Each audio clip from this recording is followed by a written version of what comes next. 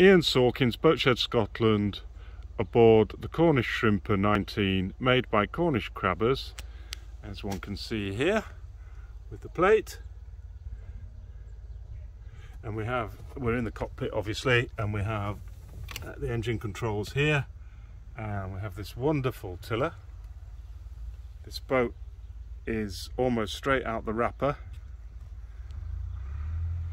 and we have a locker there which I've got a picture of. And if we swing round nice and gently we've got the cushions out.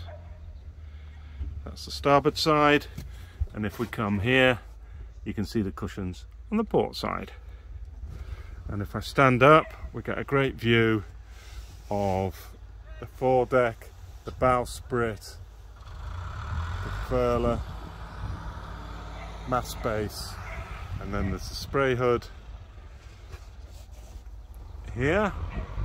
And then we've got a winch atop there with the warps and there's a compass just behind there. And that's just covered at the moment the way it is. And the same with the Windex. Here the ropes are tidied on the winch. And your clutches there. And if we move forward well before we move forward the, this is the engine cover. And if I just take that off I'll show you the engine.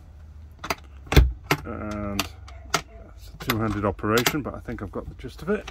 No let's try again. That's it. Perfect. And you can see that gleaming sparkling engine in there pan back a bit to give a better view.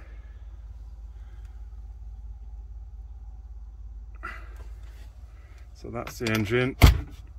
And then if we go inside, we can see uh, there's a berth on the port side that goes aft.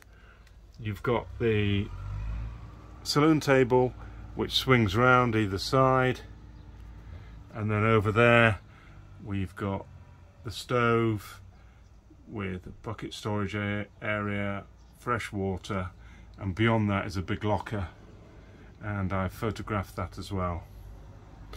And if I just move this, you can see that the table is easily adjustable. And you can see it on its legs there. This boat is in remarkable condition, but it should be because it's more or less new if we pan round again. And I'm going to be taking 360 pictures as well so you'll see those